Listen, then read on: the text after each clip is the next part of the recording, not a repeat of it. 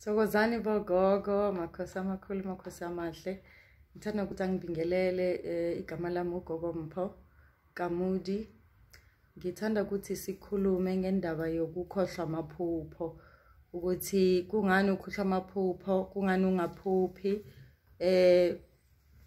kungani eh kwenzakala zonke lezi zinto zenzakala empilweni yakho what can influence you forgetting your dreams eh ukuthi kungani uphupha amaphupha amabi so ngifuna ukuthi le ndaba siyidiscusse si nibuze noma yini nakufacebook ningangithola eh ukuthi how, how can you be assisted how can i assist you through a consultation i can help you find out why you're forgetting your dreams how can you sort it out and how can you uh, know what is actually bothering you because a eh, a eh, you know when you're not having your dreams it means isithunywa sakho nedlozi lakho alikwazi ukuthi likhulume nawe ngibonga kakhulu ngithanda ukuthi ningichase nilike ama-videos wami and lisubscribe kwi-channel yami thank you so much ngiyanithanda kakhulu thokozani bogogo nabomkhulu